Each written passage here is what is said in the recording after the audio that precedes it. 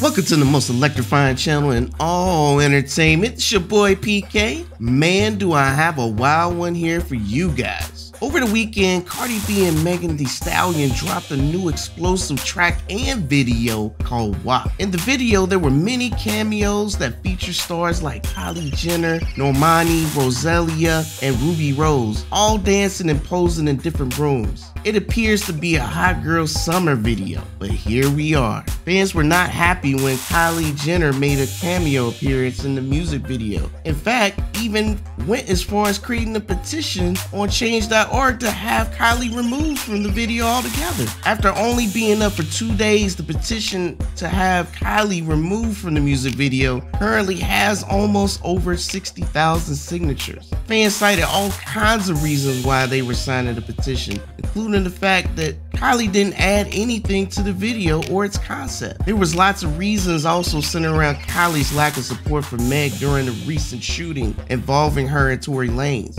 Like here, a fan wrote, didn't she unfollow Megan after being shot in the foot twice? Now, I don't know if Kylie Jenner had anything to do with the shooting, though though Meg did go on record recently to say that while she has felt betrayed, many people who she once considered friends, she wouldn't let this situation keep her down for long. Look, I know people are passionate about things and want their voices to be heard, but this seems like using the petition mechanic for the wrong reasons. I mean, is is it that important to remove her? Do they hate her that much?